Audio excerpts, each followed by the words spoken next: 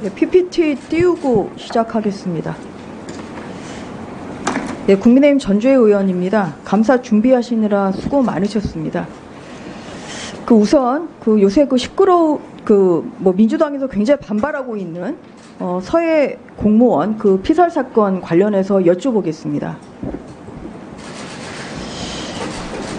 이제 사실 저도 TF 활동을 하면서 이 사건에 대해서 많은 어, 또 보고도 듣고 연구도 했습니다만 가장 이제 중요한 것이 2020년 9월 22일에 어, 오후 6시 36분에 문 대통령 서면 보고가 있어요.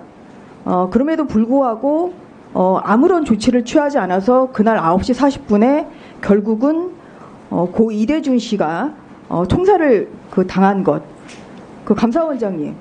과연 이런 게 국민들이 궁금해하는 부분인데 공감하시죠? 계속 언론에서 계속 문제 예. 제기하고 있는 부분. 그리고 또 무슨 일이 있냐면 23일에는 새벽 1시에 관계부처 회의가 있습니다. 그리고 6, 8시 반에 문 대통령에게 대면 보고가 됐고 그날 또 관계부처 장관 회의가 있었거든요. 여기서 과연 문 대통령이 무슨 보고를 받았는지 이런 부분도 밝혀야 될 부분이라고 생각합니다. 가장 이제 중요한 부분은 9월 22일에는 월급 월북 가능성이 낮다고 이렇게 내부 보고가 돼 있습니다만 이틀 지난 9월 24일에 어, 월북 가능성이 높다 이렇게 정부의 보고 바뀌거든요. 그래서 과연 이것이 어떻게 이 9월 23일에 무슨 일이 있었길래 이 이렇게 바뀌었냐 사실 이런 부분이 좀 궁금해하는 부분이고 이 부분이 바로 감사해야 될 부분이라 생각하는데 어떻게 생각하십니까? 예, 지금 그런 부분들을 좀 들여다보고 있습니다. 예. 그래서 이런 내용이 문 대통령에 대한 서면 조사에도 포함이 됐을 것 같은데 맞죠? 어, 그럼 좀 구체적인 사항은 지금 여기서 아직 네. 감사가 끝나지 않았기 때문에 말씀드리기 곤란합니다. 언론 보도에 따르면 중간 발표를 할 것이다 이렇게 지금 나오고 있는데 중간 발표 예정하고 계십니까? 어, 지금 검토 중에 있습니다. 하게 되면 언제쯤 알 수 있을까요? 그래서 그 언론에 뭐 그 나온 대로 지금 조- 감사 종, 감사가 14일까지입니다. 네. 그 종료 시점쯤 돼서 지금 생각을 하고 있는데 아직 구체적으로 아직 네. 결정된 바는 없습니다. 또 언론 보도에 따르면 기존의 언론에 보도된 거 말고도 뭐 새로운 이런 좀 비위 사실이 있다 이런 보도도 나오거든요. 어 그래서 지금 그 집중적인 그 감사를 통해서 국민께 또 새로운 사실을 알릴 게 있으면 적극적으로 알려주시면 좋겠다 이런 말씀을 드리겠습니다.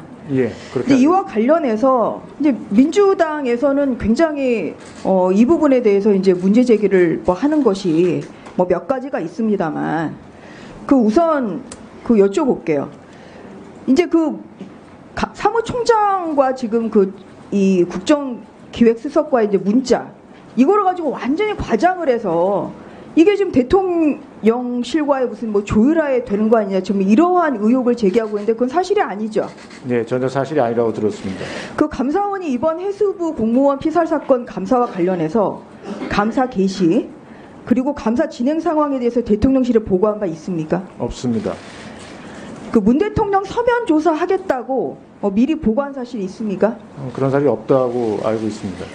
지금 문 윤석열 정부 들어서 이건 뭐 감사 포함해가지고 지금까지 감사원 업무 관련해서 대통령실에 보고한 바 있어요? 음, 제가 알기로는 없, 없습니다. 예, 전혀 없죠. 네. 예.